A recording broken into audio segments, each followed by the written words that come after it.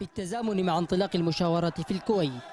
يخرج أبناء هذه المدينة بمسيرة شعبية للتنديد بما يتعرض له أبناء هذه المدينة. من مجازر ترتكبها الميليشيات الانقلابية وعدم التزامها بوقف إطلاق النار. فيما تؤكد لجنة تثبيت وقف إطلاق النار التزامها بذلك الاتفاق والسعي من أجل التزام جميع الأطراف الموقعة عليه. وتم تشكيل لجنة هنا لتنفيذ هذا الاتفاق. لتثبيت وقف إطلاق النار ووقعنا اتفاق معهم وكنا متفائلين خيرا بوجوب وعودهم وخرجنا إليهم وتكبدنا المصاعب والمشاق وتعرضنا لإطلاق النار حتى نحقن دماء اليمنيين ونحقن دماء أبناء تعز. ولكن للأسف الشديد اليوم الثالث ولم يتم أي لم يتم تنفيذ أي شيء من الاتفاق، لا زلنا حريصين على الاستمرار مع الطرف الآخر حتى نوصل إلى وقف كامل لإطلاق النار وفك وفك المنافذ للمحافظة. المسيرة الشعبية.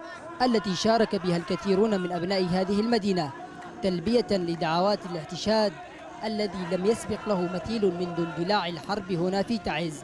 من أجل إيصال رسائلهم للمتحاورين على طاولة المشاورات في الكويت.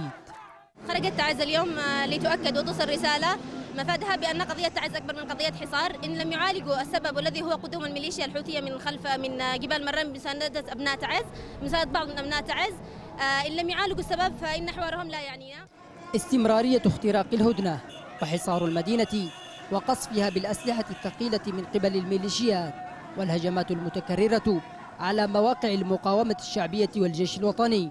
كلها ملفات كان ينبغي النظر إليها قبل بدء المشاورات في الكويت كما يقول هؤلاء. مع انطلاق المشاورات في الكويت يستمر أبناء هذه المدينة في الخروج بالمسيرات الشعبية التي تطالب برفع الحصار عن المدينة ووقف إطلاق النار. حمزة أمين قناة بلقيس تعز.